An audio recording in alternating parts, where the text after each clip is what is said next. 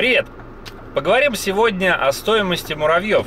Такая бомбическая тема для многих начинающих киперов, особенно из регионов.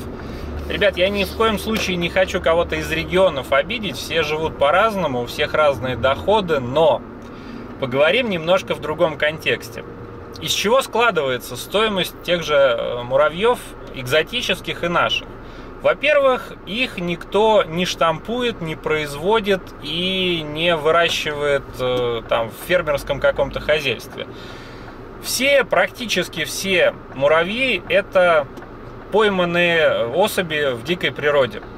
Небольшая пауза. Хочу порекомендовать вам магазин фермы муравьев Фуанс. Фермы этого магазина спроектированы и произведены в России. Ассортимент магазина широкий, есть классические горизонтальные фермы и мои любимые фермы кубики. Цены на фермы муравьев в этом магазине вас приятно удивят без всяких промокодов. И самое главное, я могу их смело рекомендовать, потому что сам пользуюсь этими фермами. Ссылка на магазин ждет вас в описании, ну а мы возвращаемся к основной теме выпуска. Есть, конечно, исключения там с, с отпочковыванием э, новых выводков, отводков от действующих колоний, но это мало, мало реально, что ли. Это не во всех видах и не везде это годится. Поэтому принимаем за основу то, что все, без исключения, все матки, а матки основывают муравьиную колонию, все ловятся в дикой природе. Поэтому начнем с ловцов маток, муравьиных маток. Профессии такой пока нет. Может быть, она, конечно, когда-то будет, но пока нет. А это говорит о том, что заработок этот сезонный и заработок этот весьма ограниченный. Более того, он нестабильный. Можно наловить, а можно нифига и не наловить. Первым делом человек, какой-то человек должен поймать определенное количество маток. Если мы говорим о том, что для себя, не на продажу, то можно поймать 2-3 и, в общем, не отвлекаясь от работы, от учебы, если повезет, конечно.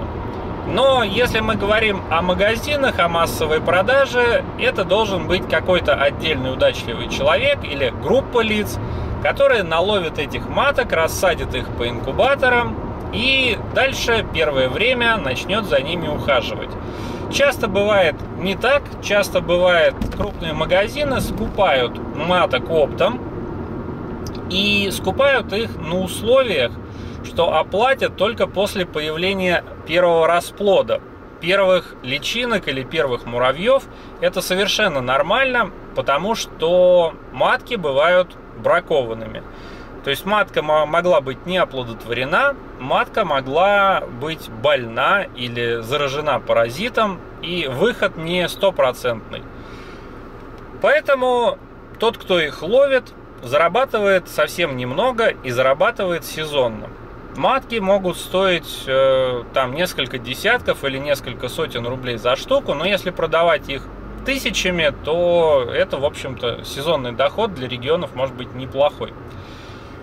Дальше. Их все-таки нужно кому-то впарить.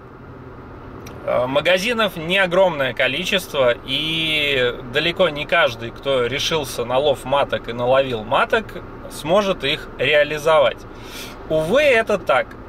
Увы, я сам знаю случаи, когда люди ловили и не смогли их куда-то пристроить.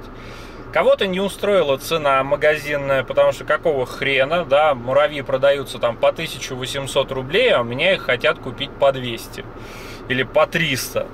Вот нифига не продам. Но каждый хозяин своего счастья, кузнец своего счастья. Дальше э, человек должен, если он не продает оптом, или если магазин закупил эти э, колонии, он должен за ними какое-то время ухаживать. Если вы видите в продаже матка без расплода или матка только с яйцами, это значит, что риски переложены на вас. Может быть неоплодотворенная матка, яйца будут, а личинок может и не быть. Был тут скандал на эту тему пару лет назад, о нем в отдельном видео расскажу и не только о нем. Так вот, уход, пересадка, кормление – это труд. Себестоимость именно расходных материалов небольшая.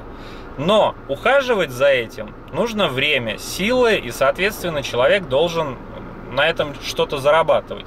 Поэтому чем дольше матку держат, тем с большим количеством муравьев она продается. Тем дольше она содержалась, и тем дороже стоит колония. Это совершенно нормально. А дальше, по мере развития этих колоний, есть процент потерь. Есть процент потерь технические, то есть э, при пересадке придавили или там затопило, или еще какие-то непредвиденные э, проблемы. Их мало, но они, в общем, тоже существуют. Дальше есть процент естественных потерь. То есть, когда матки по природным причинам погибают, то есть они болели, у них там мушка паразит или там еще что-то такое. Ну, в общем, они живые, это нормально, это тоже бывает. Соответственно, производитель несет потери, а значит несет убытки. Эти убытки закладываются, безусловно, в стоимость продажи.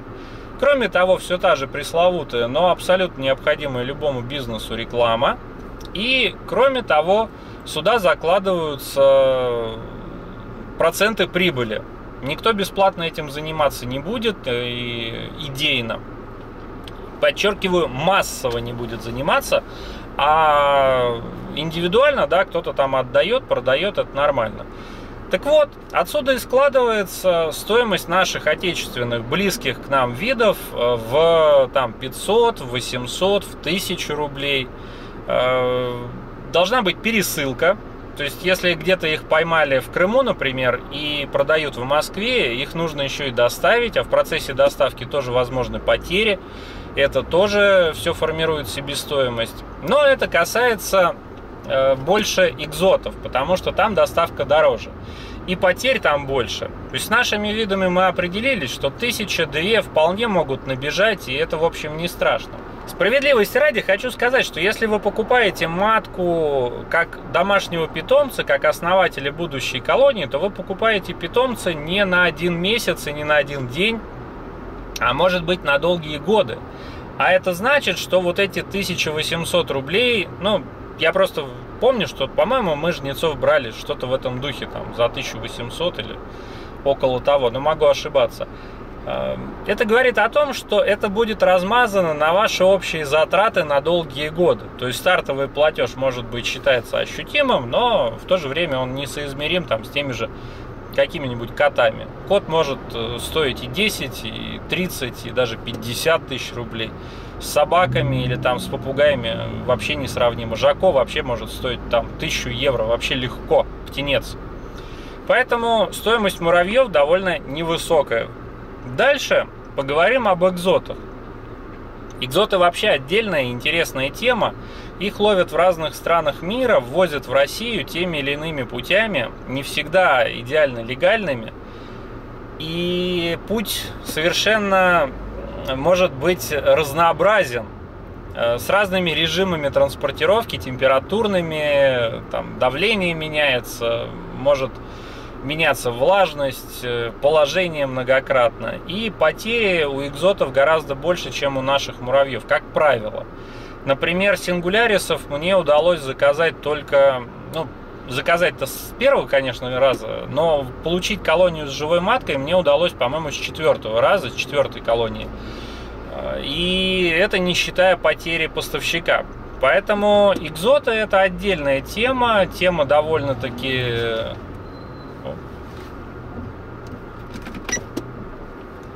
тема довольно-таки обширная, тема довольно непростая. То есть получается, что экзотов должны поймать где-то в другом государстве, должны доставить их каким-то образом на нашу территорию. За все это время э, нужно их кормить, содержать. Все это время их нужно кормить, содержать, обеспечивать им какой-то хотя бы минимальный уход. Кроме того, вполне могут быть потери. Это тоже неизбежно, это тоже нормально, никуда от этого не деться. Все это образует стоимость. И если посмотреть магазины, например, в Германии, в Европе, э, стоимость может быть муравьев очень и очень приличной. Стоимость муравьев в Германии может доходить до нескольких тысяч евро там, в пике вполне, а несколько сотен это вполне нормально. Кто-то из подписчиков мне писал, что в Европе филахи стоят в районе там, 200, 200 долларов, по-моему.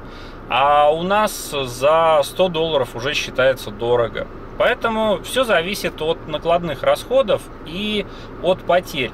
Но еще есть прибыль, и еще э, муравьи оцениваются по редкости, по сложности содержания и так далее. И поэтому экзоты не могут стоить по, по 100 рублей за пачку. Покупка стао, стао бао напрямую – это риск. Во-первых, их может не, про, не пропустить таможня. Во-вторых, вам могут прислать совсем не то, что вы хотели. А, в-третьих, вы можете получить колонию в таком состоянии, что шансов выжить у нее практически не будет. Поэтому цены в несколько тысяч рублей на экзотов вполне нормальны. Теперь поговорим о том, кто с этим не согласен. Буквально, наверное, 30 секунд, и я надеюсь, в комментариях вы составите или поддержку, или оппозицию этому мнению. Так вот, все, кто считают, что муравьи должны стоить э, дешево, все пишут гневные комментарии, все говорят о том, что э, какого хрена платить за них столько денег, но пока никто не наладил какого-то массового, э, ну не производства уже, а массовых поставок и массовой реализации муравьев, тех же экзотов за копейки. Никто почему-то не хочет нести эти риски, никто не хочет заниматься этим хождением там по почтам и так далее. Никто не хочет э, тратить на это время, силы бесплатно. Удивительно, никто не хочет, но все требуют. Поэтому напишите в комментариях, что думаете, мне, мне интересно. Пока-пока.